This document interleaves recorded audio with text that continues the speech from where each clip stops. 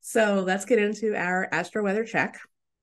We will be discussing tomorrow's Gemini full moon, which will be here on the East Coast at 4:17 a.m. in the early degrees of Gemini. 4 degrees to be exact. So sun at 4 degrees of Sagittarius, a moon at 4 degrees of Gemini.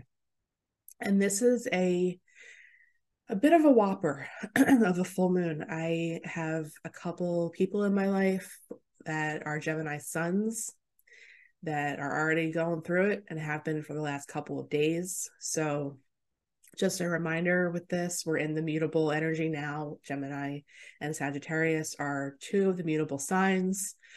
Mutable just means the way that the energy is expressed, we're in the change of the seasons we're in the time that's asked that asks us to be adaptable, open to change